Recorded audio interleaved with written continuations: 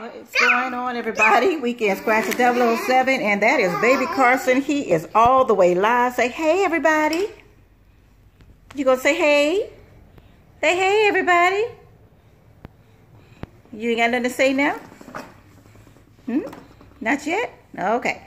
Anywho, we got the book here. Well, let me tell y'all what happened. So I go to the store, and I pick up the $1 book of the new Christmas tickets. And the guy tells me, $300. I'm like, no, sir.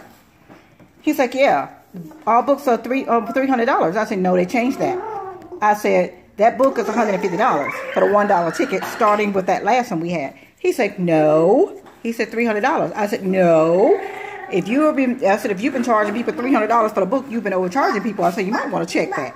So he opened up the pack, then he looked at it. He looked at the back, and he was like, he opened up the pack, looked at the back of the, at the very last ticket and it said 149 tickets. So all books in South Carolina start with ticket zero. So that's 150 tickets. That's $150. So I told him, I said, no, that's $150 for that pack. So apparently, I guess whoever dropped his tickets, when he ordered his tickets, he paid $300 for the, for the $1 books of these tickets. So now he's got to go back and um, look at his invoice and get his money back from the lottery commission. Ooh. Anyhow, so we got the $1 tickets. We got a whole book of the holiday cheer. And what we're doing, we're looking for three of those presents in a row in any straight horizontal vertical diagonal to win the prize. You can win up to $5,000. And uh, we're going to see what we can get out of this. So we got tickets 0 through 149 as you saw before. These tickets are have not been separated yet. And let me see. This is from book number 005533. Right there. 005533. So, yeah, I got this from a different store that I normally go. So, yeah. Uh, if he paid $300 for the $1 books that he ordered of this and he got a good bit in the store, he might want to call them and get his money back.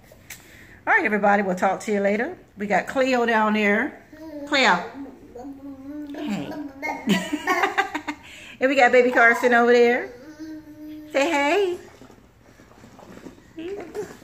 Say hey. No, you're not going to get that. Say hey. Say hello. and we have the group book. Now, because I do have little Mr. Um, baby T-Rex over there, uh, we would not be scratching this right now. We have, will have to wait until my daughter gets home because um, of the storm. I had agreed to pick him up. Did not know it was going to clear up like this, but she gets home around 8, 8.30 or so. We might have to do a little bit of later scratch.